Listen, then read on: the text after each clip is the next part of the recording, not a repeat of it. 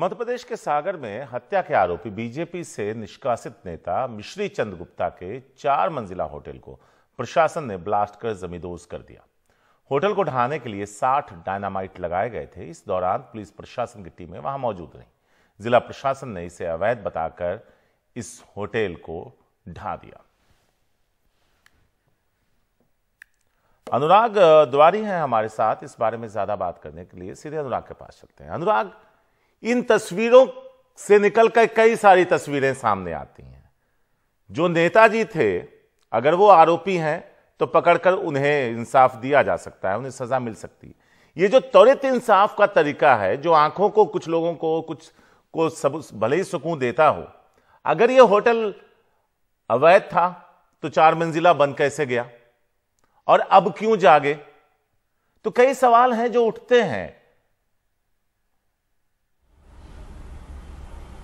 बिल्कुल शारिक और ये वही तरीका है जो आपको दरअसल तालियाँ दिलवाता है और राजनीति को अक्सर ऐसा लगता है कि जिस काम में ताली बजे, उससे वोट ज़्यादा मिलते हैं।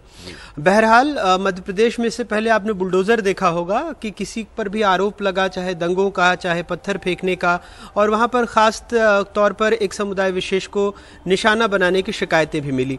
लेकिन उसके अलावा भी कई सारी जो रेप की वारदातें हुई हैं, उसमें दूसरे समुदाय के लोग भी हैं, बहुसंख्यक समुदाय के लोग भी हैं, उनके घरों को भी ढहाया गया। तब भी ये सवाल उठे थे कि आखिर उस घर में और भी लोग रहते हैं आरोपी के अलावा, लेकिन प्रशासन का हर बार यही तर्क होता है कि ये घर अवैध थे या उसका एक हिस्सा अवैध था जिसको ढहाया गया है। बार बार हम यही सवाल पूछते हैं कि क्यों प्रशासन किसी अमुक घटना के बाद ही जागता है, क्या उसे पहले नहीं पता होता, या उसकी नींद ही उस घटना के बाद खुलती है? और जैसा मैंने कहा कि राजनीति में तालियों का अपना महत्व होता है, अपनी अहमियत होती है तो तालियों के लिए इस तरह की कार्रवाई की जाती है, क्योंकि इसके बाद प्रशासन की सभी छवि सख्त बनती है, ऐसा दिखता है कि वो किसी अवैध निर्माण को बख्शेगा नहीं, लेकिन हम सब जानते हैं कि हर शहर में इस तरह के अवैध निर्माण फलते, फूलते हैं और वो राजनीतिक संरक्षण में ही होते हैं। लेकिन जैसा मिश्री चंद गुप्ता के साथ हुआ, जब राजनीतिक संरक्षण हटा, तब उनका चार मंजिला जो होटल है, जो काफ़ी सालों से चल रहा था, वो प्रशासन की नज़र में आया। उसको लगा कि अच्छा अब तो ये अवैध है तो इसे कैसे गिराएँ? बुलडोज़र से तो गिरा नहीं सकते और तालियाँ ज़्यादा डायनामाइट से गिराने में लगेंगी। तो किसी ने ठीक ही सोशल मीडिया पर लिखा है कि हो सकता है कि आने वाले दिनों में शायद मिसाइल दागे जाएँ। ये बात मज़ाक में कही गई है, लेकिन अपने आप में ये घटनाएँ बहुत कुछ इंगित करती हैं कि अदालत के बाहर और अदालत के अंदर और कानूनी प्रक्रिया और पूरा प्रशासनिक महकमा कैसे काम कर रहा है शारिक? बहुत संक्षेप में।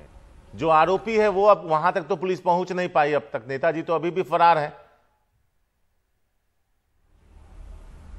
बिल्कुल शारिक। 22 तारीख की घटना है। मामले में आठ लोगों को आरोपी बनाया गया था जिसमें पाँच लोग गिरफ़्तार हो गए हैं। नेताजी सहित तीन लोग अभी भी फरार हैं। शुक्रिया अनुराग इस पूरे अपडेट के लिए।